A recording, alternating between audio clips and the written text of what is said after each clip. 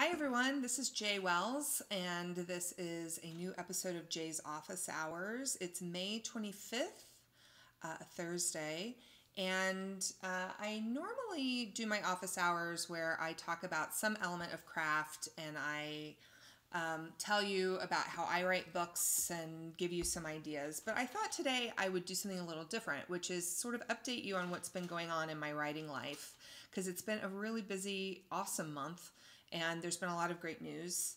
Um, and I wanted to talk about um, some stuff that's coming up uh, that you should be excited about if you enjoy reading my books. So, first of all, I released a new book this month. Uh, it's called The Chosen Ones. It is a Sabina Kane short fiction collection. Um, it says short fiction because it's one short story in three novellas. So it's four stories in one book. As you can see, it's pretty thick. It's about 300 pages worth of story. Um, here's the, the, and then here's the back. Um, the stories that are involved in this collection are Fool's Gold, which is a prequel Sabina Kane novella, which is her first mission as an assassin at, back in LA in the 1970s. Um, it also gives the backstory on her feud with Slade Corbin, which comes up in the book. Um, he shows up first in The Mage in Black, and he's a pretty big character in the series. Um, so, this is the backstory on how they met and what happened. Um, the second story in the collection is uh, Violet Tendencies, which is. It, if you read the series, um, there was one book where the demon Valva V A L V A, um, was there. And then at the beginning of the next book, she was gone. I think it was between Mage and Green.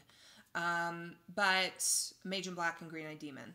Um, but I realized that I never really explained what happened when she left. So there's a short story in here called Violet Tendencies about what happened there. And then the third Sabina Kane story is one that's called Rusted Veins, which comes after the main series action. So it comes several months after Blue Blooded Vamp. Um, and it's a kind of a mission that Sabina, Adam, and Giguhl go on to save a mage who was kidnapped. Um, and it's set in New Orleans in over Halloween, so it's pretty fun. And then this is this one is the uh, Rusted Veins part of the cover. I love the bats. Um, and then so those are the Sabina Kane stories, and so there's like a prequel, an in the middle of the series story, and then a postquel. I don't know if that's a thing. I'm calling it a thing. Um, and then the fourth story in here is actually a Kate Prospero story. Uh, it's called Firewater, and it's also a prequel novella, which is um, the um, story of one of Kate's first uh, cases as a cop when she is um, shadowing uh, a, a, more experienced vet cop who um, works the river patrol in Babylon. And it's a really fun story. Um, it also tells you the story of how Kate met Baba, who, of course, is her neighbor in the series, the old, like 70 year old witch, um, who is her neighbor in the main series. Excuse me. I have to caffeinate. Um, So if you haven't checked this out, please do. It's it's a really great deal. It's 12 bucks for four novellas, basically. And there are some publishers right now who are selling single novellas for $12. So it's a pretty good deal. It's a beautiful cover. It's a matte finish. Um, it'll look great on your shelf next to all your other Sabina Kane books. Sorry about the beep. Um, and um, sorry, somebody dinged in. So you should get it. Um, it's available on Amazon, but you can also get it on Barnes & Noble, IndieBound, whatever your favorite retailer is. And the reason I did this print copy only is that um, my publisher, Orbit, uh, who originally put the ebooks out, has the rights to the ebooks, and they put them out individually as ebooks, so you can get them um, like you would other ebooks right now, individually. Um, but there were some of my readers who were in countries that didn't have access to the ebooks who couldn't get them.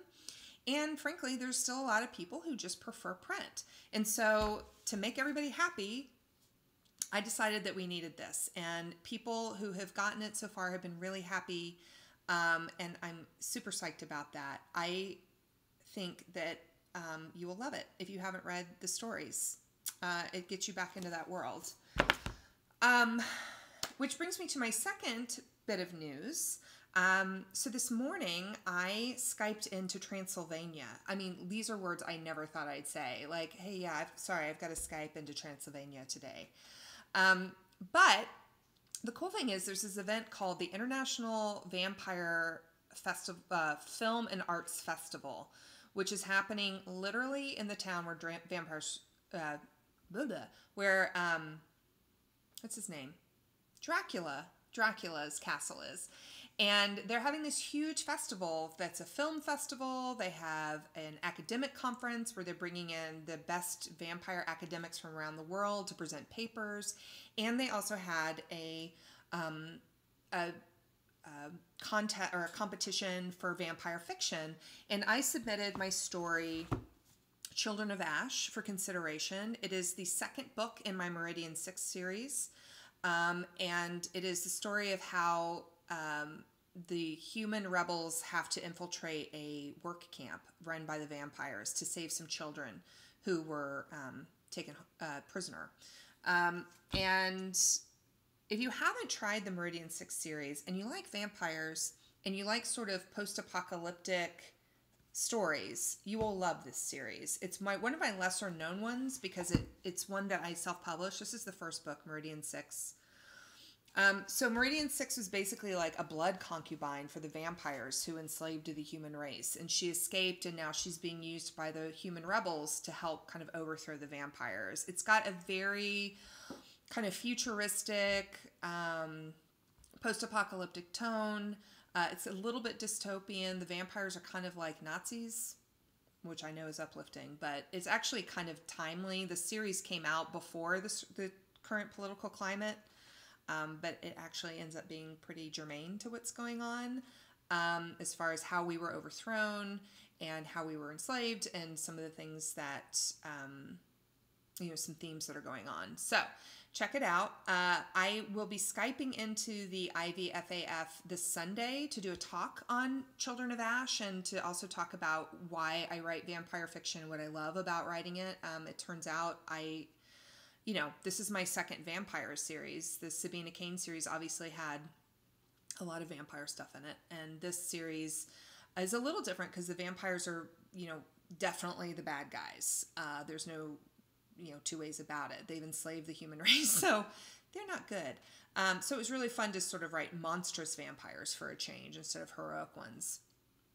So that's really cool. I'm excited. They announced the winners of the Golden Stake contest, which is the award that the book is up for on, I think Sunday night, maybe. Maybe I don't remember when. I if I win, I'll let you know. I hope I win. If I don't, I'm still really honored because it's very cool to have a group that knows vampire fiction so well. You know, nominate one of my stories as one of the best vampire uh, novels out there uh, this year. So that's awesome. Check it out. Those are also available. These are available in, in print and ebook. Um, Meridian 6 is also out in audio. I haven't done audio of Children of Ash yet, but if there's enough demand for it, I would do it. Um, which brings us to the third thing, the third big thing that happened this month that if you follow me on Twitter or Facebook, you will know. If you don't, you're about to find out some big news. Uh, I am I'm writing the fourth Prospero book. Yeah. Like all of you who have been sending me emails and messages saying, Where's the next book? Like it's coming. I am wrapping up rewrites right now so that I can send it to my editor at the end of next week. And the title of the fourth Prospero book is Volatile Bonds. Um, it is. It happens just a few months after the action of Deadly Spells, which was book three. Um, and it um, it's based on the alchemical process of conjunction. You know, each book in the series is based on a different stage of alchemy. Uh, if you didn't know that, now you do. Uh, so the fourth book will be on the theme of conjunction, and you'll have to find out how I handle that. Um, but it starts with uh, basically a potion lab explodes, and that's how team the team gets involved in the case. Um, so I'm working on that. Uh, I am going to have this book out by September. Uh, I have editors hired, I have cover designers hired, um, and I'm hoping we can get it all uploaded and ready to go by mid September um, because I'm going to an event called StoryCon in New Orleans that month, and I would really love to have it there for my readers because I know that you guys have waited so long for this book, and I am. I could not be more excited about getting it done and, and getting it to you. Um, and, you know, frankly, some of it's been selfish because I've really missed writing these characters. Um, I don't plot my books in advance. So, you know, for me, finishing the series out is pretty selfish because I want to see how it all turns out. I actually do know what the final scene of the entire series is, and I don't know how I'm going to get there. So I'm kind of excited to see how how that's going to happen. Um, but I hope you're excited. I um, I am self publishing the books. Uh, I am doing that for a variety of reasons, none of which have anything to do with me being mad at New York or walking away or, you know, like screw those guys. Like, it's not like that at all. It's just simply that the market for urban fantasy shifted from New York to self publishing. Um, you know, New York stopped um, buying the books because the market was so glutted with urban fantasies, which is great for readers, but it's not very good for publishers when they're having to compete with like 60 new titles a month, which is what it was at its height. So what happened is, you know, like they, they stopped buying them, but the readers still wanted them. And so now they're going and finding them um, through uh, authors who have gone indie. Um, so that's what I'm going to do with this series. I'm going to finish it um, this does not mean that I will never ever submit things to New York again or work with them again. I have books on submission to them right now. Um, I have nothing but respect for the people at Orbit who launched this series and did such good work, you know, creating gorgeous covers and getting the books in your hands. And I mean, I would not have people emailing me asking for more books if the people at Orbit didn't do their job. So, you know, huge respect to them. Um, this is simply the best way for me to get the books to you. Um, so I hope you're excited. Um, my plan is to put them out initially in print and ebook at the same time. Uh, and then I am trying to figure out how to get the audiobook done um, so that it matches the first three books. There was a specific narrator um, who did the first three books, and if I can, I'd like to continue to work with them, but I don't know if I'll be able to. So I'm still figuring out those logistics, but just understand that it's all coming. I fully intend to have the reading experience be as as wonderful as the first three were. I'm still writing the books, so you can, you know, they're going to be the same kind of story. The quality level is not going to go down. Um, it's just I'm getting them to you in a different way. Um, so if you have questions, definitely let me know in comments. Um, keep an eye on my social media feeds or just sign up for my newsletter. I'll put the link below if you want to have updates. Um, I'll be launching the cover in July of this book of Volatile Bonds. And then I'll also be starting a series read along with my readers in July um, through Goodreads, where you can, you know, I know that a lot of you have already read the books. This allows you to catch up and refresh yourself on what happened in the first three books so you'll be ready for book four. Or if you haven't tried this series yet, it's kind of a great way to pick it up and start over again. Um, I'm also currently giving away 10 signed copies of Dirty Magic at Goodreads. Um, if you go there, you can sign up really easily. They're announcing the winners on June 8th. So you have some time left to sign up.